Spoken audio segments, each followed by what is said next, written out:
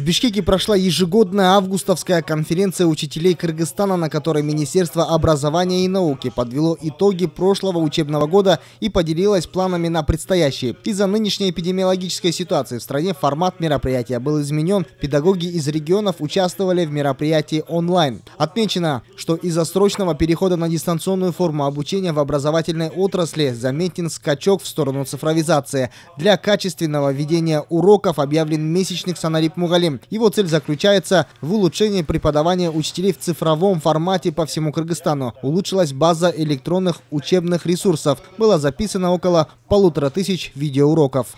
Именно по цифровизации э, работать над э, повышением компетентности, ИКТ-компетентности учителей.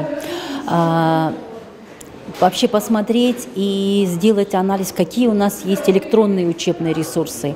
И разрабатывать в спешном порядке новые электронные ресурсы. А, у нас была сформирована а, очень быстро команда из ведущих учителей, из самых лучших методистов, и а, был создан видеоконтент.